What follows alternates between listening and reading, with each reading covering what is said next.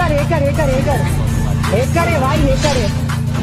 भाई साहब इसको बोलते हैं हैकिंग देखो यार मार्केट में काफ़ी प्रकार के हैक पाए जाते हैं लेकिन उन्हें डाउनलोड कैसे करें उनको अप्लाई कैसे करें? मतलब कि सिंपली भाषा में बोलूँ तो उनका इस्तेमाल कैसे करें? हमें इसके बारे में कोई भी नॉलेज नहीं है।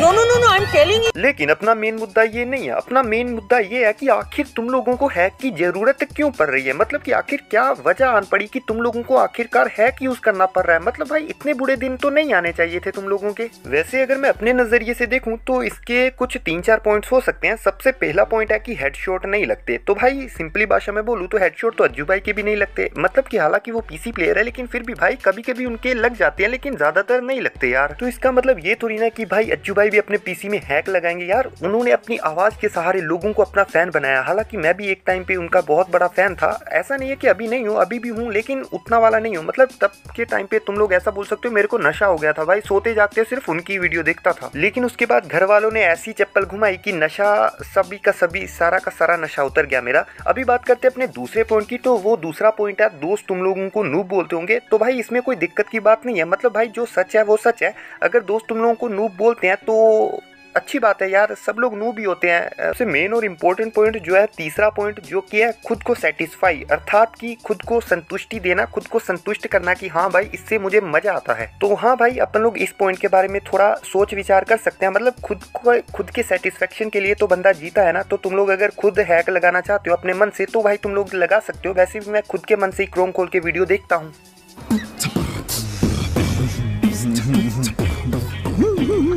तुमने इस वीडियो से पहले YouTube पे काफ़ी सारी और भी वीडियोस देखे होंगे। कुछ वीडियोस में तुम लोगों को हैक मिले होंगे, लेकिन प्रूफ नहीं, और कुछ में तुम लोगों को प्रूफ मिले होंगे, लेकिन हैक का नामो निशान नहीं होगा। लेकिन चिंता मत करो, क्योंकि इस वीडियो में तुम्हें कुछ भी नहीं मिलेगा।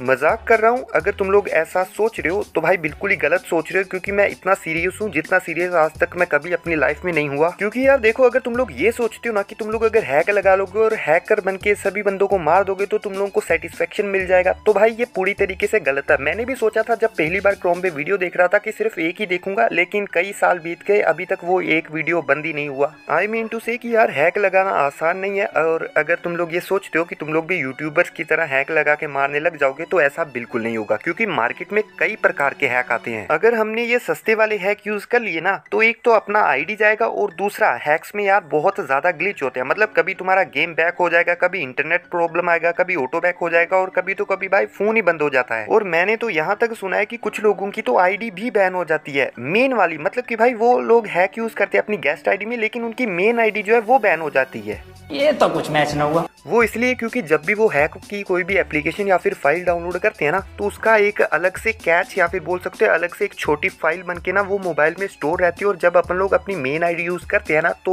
वो ग्लिच जो है अपनी मेन आईडी भी बैन कर देता है। अभी यहाँ पर कुछ महान लोग बोलेंगे कि भाई रिस्क है तो इश्क है मतलब कि डर के आगे जीत है, उसके आगे उठाओ और डर को पी जाओ।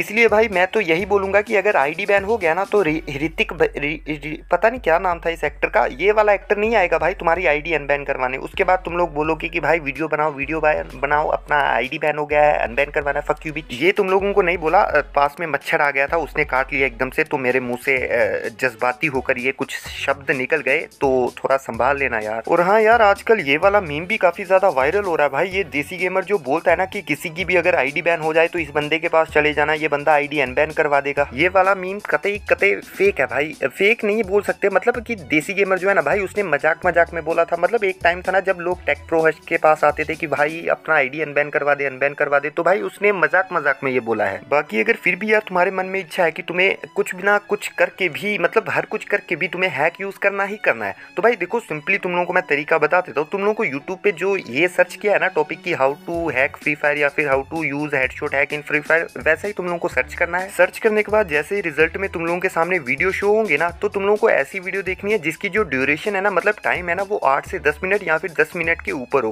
क्योंकि ऐसी वीडियो सिर्फ़ वही बंदा बनाता है जिसने हैक भी दिया हो प्रूफ भी दिया हो और हैक लगा के मतलब सब कुछ दिखाया हो। मतलब कि कैसे हैक यूज़ करते हैं, इसको कैसे लगाना है अप्लाई करने के बाद क्या क्या रिस्क होंगे प्रिकॉशंस सब कुछ जो है थ्योरी बेस सब कुछ उसने समझाया होगा, तभी भाई उस बंदे ने इतनी लंबी वीडियो बनाई है ना तो तुम लोग उस वीडियो को देख लेना, तुम लोग को सब कुछ समझ में आ जाएगा। बाकी यार अगर तुम लोग मेरे से और भी ज्ञान लेना चाहते हो तो तुम लोग सब्सक्राइब कर सकते हो, क्योंकि ऐसा ज्ञान मैं फ्री में देता रहता हूँ। हालाँकि लोग समझते नहीं है, लेकिन समझ जाना चाहिए। भाई, तब पछताए होत क्या जब चिड़िया चुग गई खेत? जब हाथ से वक्त निकल जाएगा ना, तब मेरी बातें समझ में आएँगी। तब लोग सोचेंगे हाँ भाई, वो शंजू हुआ करता था एक जो हमें पहले पहले समझाता था कि भाई, तुम्हारे हाथ से वक्त निकल जाएगा। लेकिन भाई, तब तुम समझे नहीं और बाद में मेरी बातें याद कर, करके तुम लोग रोया करोगे यार। बाकी भाई, मैं तो यही बोलूँगा कि हैक यूज़ मत करो, और अगर कहीं से तुम लोगों को हैक मिल भी जाए तो इंस्टा पे आके मेरे को भी दे देना